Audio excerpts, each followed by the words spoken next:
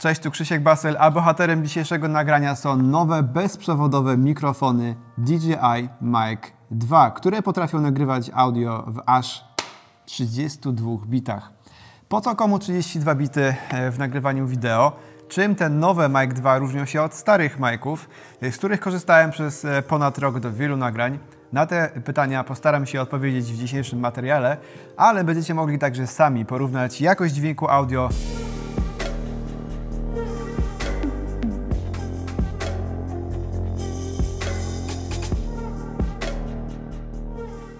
Zajmuję się nagrywaniem wideo już od dobrych kilku lat, ale dopiero od jakiegoś czasu nagrywam je z audio. I tak naprawdę dopiero, kiedy ponad rok temu zacząłem nagrywać na DJI Mic, to byłem zadowolony z jakości audio. Zresztą wiele moich treści na tym kanale nagrałem właśnie przy ich pomocy. One są małe, są lekkie, mają świetnego case'a i naprawdę dają całkiem niezłą jakość dźwięku. Skoro te mi wystarczają, to po co e, te nowe? Co one zmieniają i o co w ogóle chodzi w tych 32 bitach? Zanim przejdziemy do kwestii jakości audio, wytłumaczenia 32 bit, połączę się specjalnie w tej sprawie także z Jackiem Sopotnickim, który jest moim ekspertem audio, to chciałbym Wam pokazać dokładnie Czym różnią się pod względem konstrukcyjnym te mikrofony, te zestawy? Ponieważ zmian jest tu naprawdę wiele. To są praktycznie zupełnie nowe mikrofony, zupełnie nowa konstrukcja, która jest praktycznie pod każdym względem fantastycznie ulepszona i ja jestem tym no, naprawdę zachwycony. Zacznijmy od porównania, co dostajemy w zestawie w obu przypadkach. E, tutaj mamy DJI Mic, e, stary zestaw, który przychodzi w takim, e, no, takim woreczku zapinanym trochę jak sakiewka e, czy worek na buty kiedyś w szkole, jak się chodziło. Tu mamy taką fajną sakiewkę, taki pokrowiec już, e, w którym wszystko się mieści, rozpinany na zamek, więc też nic z tego nie wypadnie. No i po otwarciu w środku mamy e, trzy komory. W pierwszej komorze jest główny zestaw z nadajnikiem, odbiornikiem, z tym wszystkim, co dostajemy. Tu mamy też trzy komory na jakieś akcesoria. Y, tu akurat w tym momencie mamy ochroniacze przeciwwiatrowe, takie detkaty małe do y, nadajników. Y, a tutaj trzecia komora, w której znajduje się kabelek do mini jacka, nowy mikrofon, który jest w zestawie jest też także miejsce na kabel e, USB-C, e, USB zwykły USB-C. E, tutaj zmieści się na przykład także jakiś nieduży mikrofon, znaczy nieduże, nieduże słuchawki do odsłuchu. Popatrzcie jaka jest różnica w, w kabelkach, które dostajemy w zestawie. Tak wygląda stary kabelek. Jak widzicie on już jest cały powyginany w kształt tego, w jaki sposób ja go podpinałem do aparatu. Natomiast tutaj w DJI Mic 2 dostajemy zupełnie nowy kabelek audio, który jest o wiele bardziej solidny. No i właśnie jest w kształcie litery L, dzięki czemu możemy w łatwy sposób e, podpiąć to do aparatu. No i ten kabelek w naturalny sposób nam się nie wygnie i nie zniszczy, więc już widzimy po takich detalach, że to jest ogromna zmiana. W zestawie dostajemy także nowy mikrofon krawatowy DJI, który widzicie jest też bardzo fajnie wykonany. Y, tutaj mamy taki prosty, malutki klips, y, który nie powoduje, że no nie jest widoczny. To jest w środku schowane to logo. Oprócz tego mikrofon można też sobie dowolnie przekręcać. On ma takie fajne ząbki, stopnie. Y, to jest bardzo konkretnie wykonane Przejdźmy do konkretów. To jak widzicie rozmiar obu tych e, case'ów e, jest inny. To wygląda jakby to było jakiś e, stop metali. Świetny tutaj mechanizm, którym można, który trzeba nacisnąć, to się otwiera. Co w środku? Tutaj widzicie odbiornik oraz dwa nadajniki, czyli podobnie jak w jedynce. Oprócz tego mamy tutaj także dwa adaptery, czy takie podpięcia do złącza Lightning iPhone'owego oraz USB-C. One są oczywiście wyjmowane. Wystarczy sobie wyjąć tą zaślepkę, włożyć e, adapter USB-C albo Lightning i w ten sposób możemy ten e, odbiornik wpiąć czy to do laptopa, czy do iPhone'a jakiegoś, jakiegokolwiek smartfona, ale nie musimy zdejmować mocowania tak zwanej zimnej stopki do aparatu. Te dwa mocowania mogą być naraz. I co ciekawe, możemy także włożyć y, odbiornik w ten oto sposób do case'a. Sam odbiornik jest naprawdę świetnie wykonany. Jak widzicie, y, tutaj mamy dwa gniazda mini jack. Jedno jest out, drugie ze słuchawek. Też fajnie jest zrobione, podkreślone to, że out jest na pomarańczowo, żebyśmy na szybko się nie pomylili. E, tu mamy gniazdo USB-C do ładowania, tu mamy włącznik, e, tu mamy fajne wgrawerowane logo. E, ale co najważniejsze, mamy tutaj nowy, nowy przycisk i tarczę do sterowania pozycjami w menu. E, to też jest e, bardzo ułatwiające ergonomię i pracę. To też możemy sobie wciskać, to jest przycisk i w ten sposób e, sterować wszystkimi funkcjami w menu. Ale oprócz tego do dyspozycji jest także jednocalowy, jeden, jeden cala ekran kolorowy, dotykowy. Tu mamy też dwa nadajniki. Tak wygląda nadajnik, jest pokryty przeźroczystym plastikiem. Porównanie z jedynką. Wygląd praktycznie jest zupełnie inny, natomiast widać, że pod względem rozmiarów wagi jest to praktycznie to samo. Pierwsza zauważalna różnica oprócz wyglądu to duży mikrofon w dwójce tutaj ukryty i malutki z przodu. Za chwilę też będziemy testować jakość tego dźwięku. E, tutaj widzicie też e, klipsy. E, ten klips nowy jest dużo większy, dużo cięższy, więc on też powinien sobie lepiej radzić, być bardziej skuteczny w trzymaniu tego nadajnika. Z boku też przyciski niby te same, ale ułożone inaczej, inny kształt. Wygląda to tutaj o wiele lepiej niż tutaj. E, no i też z drugiej strony mamy na przykład czerwony przycisk E, do rekordu, co też jest takie bardziej intuicyjne. E, no i tutaj gniazdo e, USB-C. Zarówno nadajniki, jak i odbiornik potrafią działać bez ładowania do 6 godzin, a jeśli będziemy je ładować z, z, tym, z tą obudową, która ma wbudowany akumulator, no to tam czas wydłuży nam się do 18 godzin. 6 godzin to nie jest jakoś bardzo długo, ale z drugiej strony myślę, że wystarczająco do tego, żeby no, w takich treściach internetowych, YouTube'owych, czy nawet w wywiadach sobie spokojnie poradzić przez cały dzień, a w przerwach przecież można ładować też e, tutaj w tej bazie. Tutaj też popatrzcie, że w tym gnieździe nie ma możliwości wkręcenia i zabezpieczenia e, złącza mini jack przed e, przypadkowym wypadnięciem. W wielu profesjonalnych rozwiązaniach, jak chociażby RODE, taka możliwość jest. Oprócz tego, kiedy mamy ten nadajnik i włączymy sobie go, on sobie wibruje i w tej chwili możemy włączyć nagrywanie co się tutaj zasygnalizuje czerwoną diodą. I popatrzcie, co jest y, tutaj. Mamy czerwoną ramkę sygnalizującą nagrywanie wewnętrzne w nadajniku.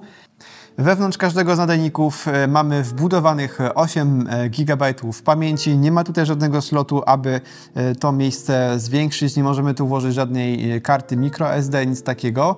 Jak podaje producent, no tutaj to powinno wystarczyć na do 14 godzin, ale nie w 13, 32 bitach, tylko w 24 bitach. Ale DJI Mic 2 nie ma opcji timecode. E, taką opcję na przykład ma ich główny konkurent e, pokazany kilka miesięcy wcześniej, e, Rode Wireless Pro, który właśnie ma timecode. No i zastanawiam się, czy dla niektórych profesjonalnych twórców, no jednak nie będzie to argument, żeby sięgnąć po mikrofony Rode.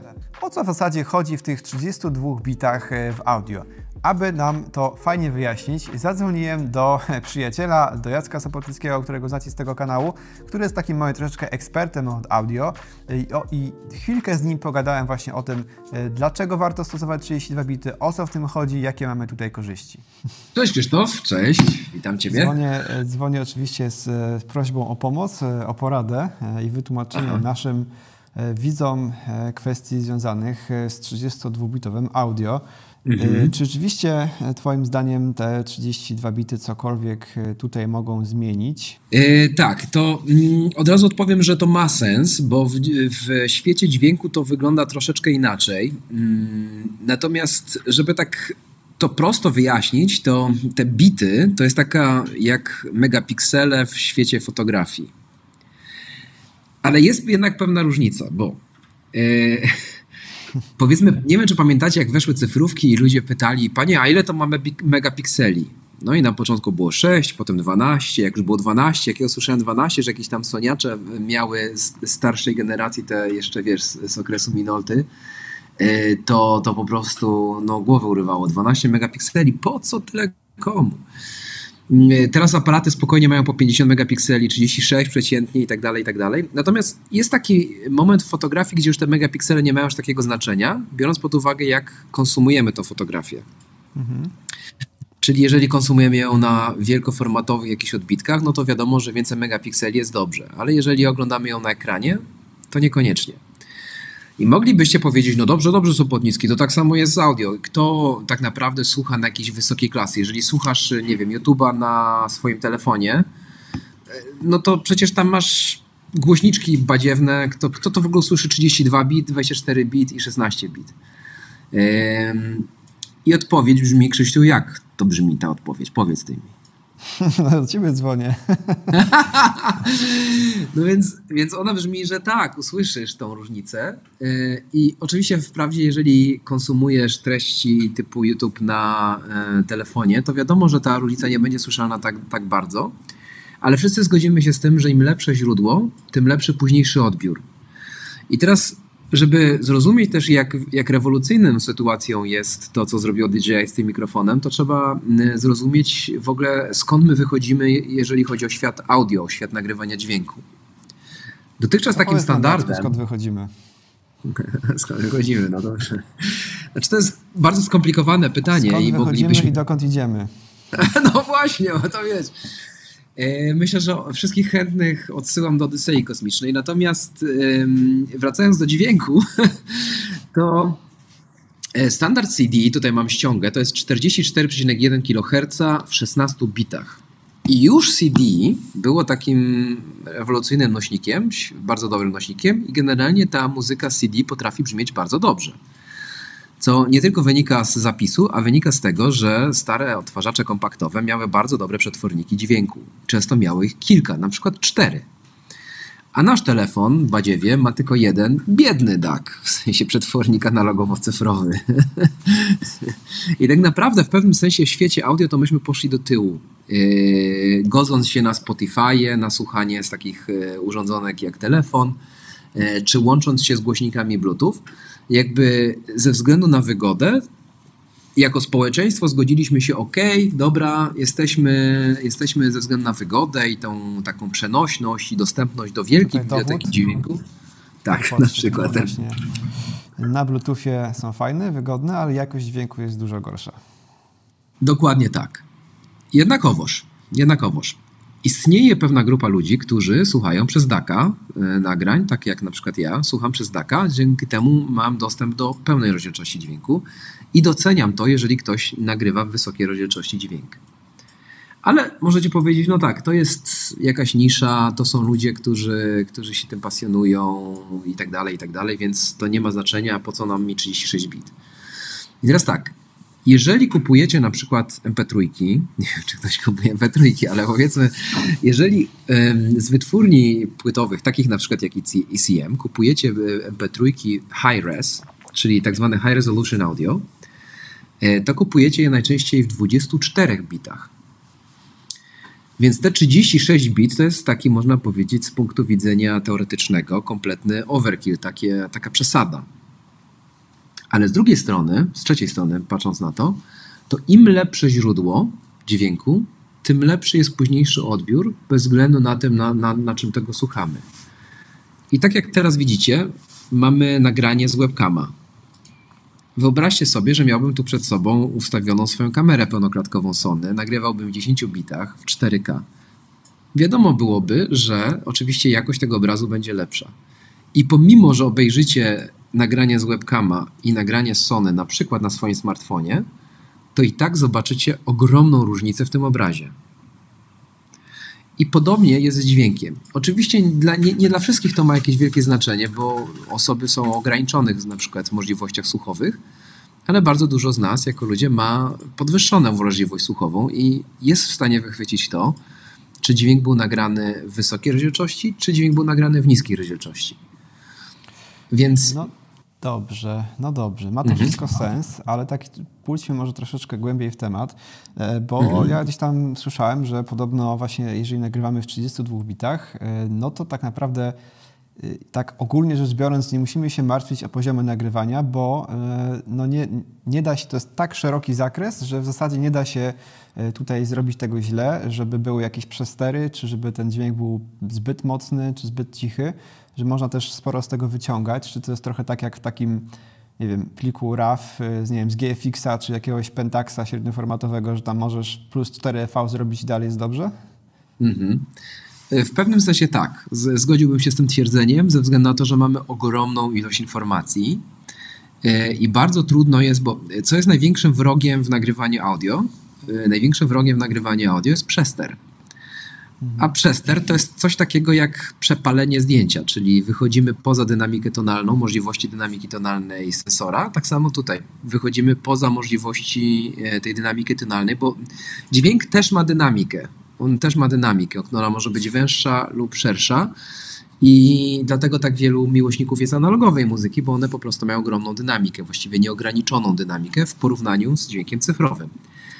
I więc e, ta dynamika ma ogromne znaczenie. I teraz, jeżeli mamy 32 bity, 36 bitów i tak dalej, jeżeli im więcej mamy tej, e, tej pojemności tonalnej, e, tym trudniej jest ten dźwięk przesterować. Oczywiście puryści teraz powiedzą, no hola hola, zły człowieku, przecież można przesterować również i tak wysokie rozdzielczości. No tak, można, odpowiadam, ale to się już trzeba naprawdę bardzo postarać. Jest to już nieomalże niemożliwe. No i to jest e, bardzo dobra wiadomość, no bo rzeczywiście e, bardzo to może ułatwić nam e, pracę z audio, jeśli nagrywamy YouTube'a sami siebie na przykład, tak jak ja teraz i nie mamy na przykład odsłuchu, czy gdzieś tam jest sytuacja taka kryzysowa, czy dużo się dzieje. Zresztą te mhm. DJI Mic 2 też potrafią nagrywać drugą ścieżkę z minus 6 EV, więc to już jest w ogóle petarda. E, ja, ja, tak. się z tym, ja tutaj trochę z nich korzystam kilka dni już i naprawdę jestem z nich mega zadowolony. Zresztą to jest ciekawostka, że to audio, które teraz słyszycie, e, ono oczywiście jest gdzieś tam w transmisji, ale podłączyłem nadajnik, odbiornik bezpośrednio do MacBooka przez USB-C i to po prostu od razu zadziałało. E, więc też na mhm. przykład do takich zastosowań e, te mikrofony świetnie się sprawdzą. I co jeszcze genialnego jest w, tym, e, w tych mikrofonach, co powiedziałeś, że oprócz tego, że mogą zapisywać dwie ścieżki, to wcześniej takie możliwości tak wysokiej rozdzielczości i tak wysokiej jakości zapisu były dostępne tylko właścicielom takich profesjonalnych rekorderów audio, typu firma Zoom na przykład robi takie nie wiem, czy oni mają związek z tym Zoom do, wiesz o co chodzi, do telekonferencji. Chyba nie, tak nie sądzę, ale tak też właśnie mi przyszło do głowy i pomysł. Ale generalnie to było dostępne tylko właścicielom dedykowanych e, rekorderów audio. Natomiast tak naprawdę jest to zminiaturyzowany rekorder audio w tym momencie, który, który pozwala na takie możliwości, które po prostu właścicielom zwyczajnych mikrofonów, czy nakamerowych, czy tych lapelowych tutaj do, do klapy, nie były dostępne. Także to jest taka rodzaj rewolucji audio i w ogóle miło, bardzo miło mi to słyszeć i przywitać tego typu innowacje, bo mm, to jednak pokazuje, że mm, nie wszyscy godzą się z tym, żeby ten świat audio był taki okrojony, skompresowany i, spłaszczony. E, szczególnie, że no, profesjonalne produkcje wymagają dobrego audio. Dokładnie. Mi też miło Ciebie było słyszeć. Dzięki wielkie za tą e, wstawkę techniczną związaną z audio. E, I cóż, e, lecimy dalej z materiałem. Dzięki, trzymajcie się. Mówiąc, o co w tym chodzi? Otóż 32 bity mają dwa genialne, e, największe plusy, które nam dają. Mianowicie, po pierwsze, nie musimy się martwić poziomami dźwięku, bo jakikolwiek byśmy nie ustawili, to i tak nie będzie przysterów i nie będzie nic za cicho. Możemy sobie niemalże dowolnie później w postprodukcji sterować tym dźwiękiem, pogłaśniać go, ściszać. Jakość e, tego audio nam nie spadnie, tylko będzie na bardzo podobnym poziomie. A druga kwestia, no to właśnie szumy. Bardzo niskie szumy, praktycznie niesłyszalne te szumy. Teraz możecie sobie porównać, jaka jest różnica dźwięku, kiedy e, nagrywam e, audio w DJI Mic 2, ale teraz możecie posłuchać, jaka jest różnica dźwięku, jeśli chodzi o DJI Mic 1. E, audio jest nagrywane tutaj wewnętrznie w nadajniku. No i sami ocencie, to są 24 bity, 48 Hz, kHz, więc ocencie sami, czy ta różnica jest naprawdę zauważalna na YouTubie. E, teraz przełączyłem się, jak widzicie, na ten wbudowany mikrofon w e, nadajnik, w DJI Mic 2. Jestem dosyć blisko, tak naprawdę to e, powinno to wyglądać w ten sposób, że ja go sobie tutaj gdzieś tam przypnę. Zresztą możemy zrobić taki mały eksperyment, zobaczyć jak to na żywo wyjdzie. Odepnę sobie ten magnesik i go przypnę tutaj na koszuli.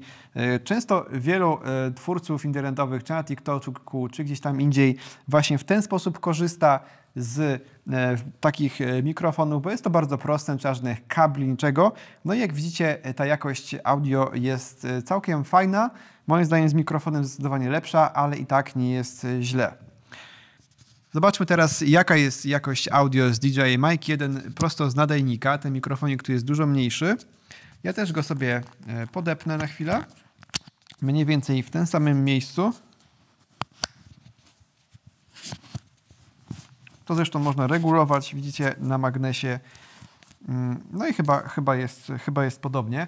E, Ocencie teraz, jak wygląda to na DJI Mic 1. Czy ta jakość dźwięku jest dużo gorsza, czy lepsza? E, Myślę, że tutaj nie ma jakichś wielkich różnic, e, ale zdecydowanie jest to na korzyść dwójki. Podsumowując, DJI Mic 2 to naprawdę fantastyczne mikrofony i jestem zachwycony tym, jak wielki postęp DJI zrobił, jeśli chodzi o tą konstrukcję.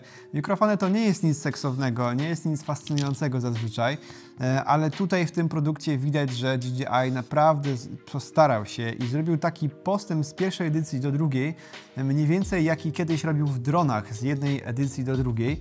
Dzisiaj w dronach jest już trochę nudniej, e, ale mikrofony wciąż mogą być ekscytujące w wykonaniu DJI i to jest dla mnie naprawdę chyba gadżet e, tego roku jak na razie, e, z którego korzystam z wielką przyjemnością. E, To poprawiło komfort mojej pracy, sprawiło, że to audio brzmi nie tylko lepiej, ale że mam na- nad nim dużo większą kontrolę. W końcu nie mam żadnych szumów, także jakby komfort, w zasadzie te mikrofony dają mi wszystko, czego potrzebuję.